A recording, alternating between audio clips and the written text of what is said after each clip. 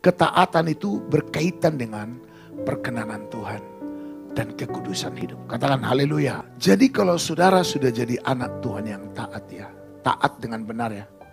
Bukan taat 75%. Bukan taat 95%. Tapi taat total. Nah saudara kalau sudah jadi orang yang dikenan Tuhan.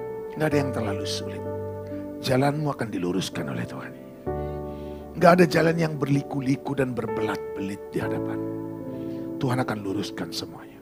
Dan Tuhan akan menetapkan setiap langkahmu. Orang yang berkenan kepada Tuhan adalah orang pilihan Tuhan. Karena ingat loh, banyak yang terpanggil. Tapi sedikit yang dipilih. Ternyata nggak mudah jadi orang pilihan. Kau harus belajar taat. Supaya engkau dikenan. Dan kalau engkau sudah dikenan, kau akan jadi orang pilihan. Orang pilihan itu berarti bukan sembarangan lagi. Berarti ada keistimewaannya. Makanya pastikan kau orang pilihan bisa kau lebih unggul dari yang lain. Ibadahmu lebih unggul dari yang lain.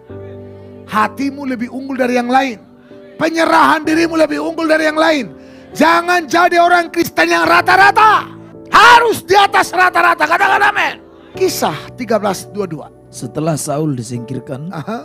Allah mengangkat Daud menjadi raja mereka. Digantikan oleh Daud terus. Tentang Daud, Allah telah menyatakan, Ya, Aku telah mendapat Daud bin Isai, ya, seorang yang berkenan di hatiku ya. dan yang melakukan segala kehendakku.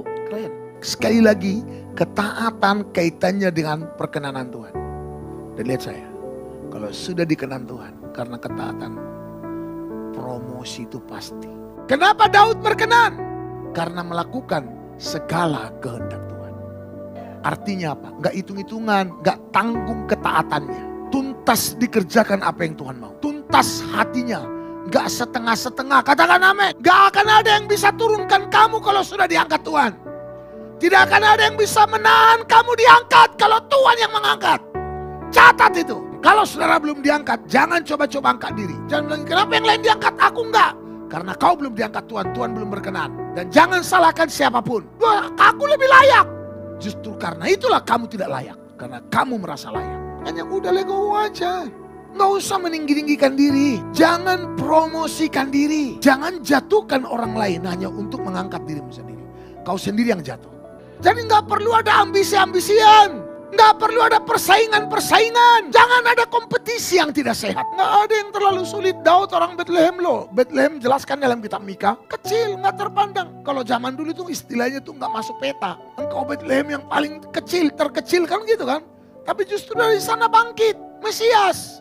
Tunas Daud. Haleluya. Artinya dari orang yang paling tak dianggap. Tuhan bisa promosikan menjadi paling dianggap. Yang penting kejar perkenanannya. Belajar taat. Makanya saya bilang belajar taat. Makanya orang kalau serius cari Tuhan. Begitu dia mendapat sesuatu dari Tuhan itu langsung ditangkap. Saya nggak peduli. Biarpun semua orang jadi musuh saya nggak peduli saya. Kalau udah Tuhan perintahkan saya untuk lakukan satu hal. Bagaimana agar kita punya hati yang taat. Sekali lagi. Kita harus selesai dengan diri kita. Kau tidak bisa dengan segala agenda dirimu. Kau coba mau berkenan kepada Tuhan nggak bisa. Buang semua agendamu. Buang semua kepentinganmu. Jangan lagi mengejar apa yang kau butuhkan sementara di dunia ini. Kejarlah yang ilahi. Kejarlah Tuhan. Kejarlah kehendaknya. Dan pahami pekerjaannya. Lakukan dua hal itu. Kejar kehendaknya. Pahami pekerjaannya. Kerjakan itu. Kau akan lihat. Selebihnya semua yang gak pernah kau pikirkan, yang gak pernah timbul di hatimu, yang tidak pernah kau dengar Tuhan berikan, Tuhan sediakan bagimu.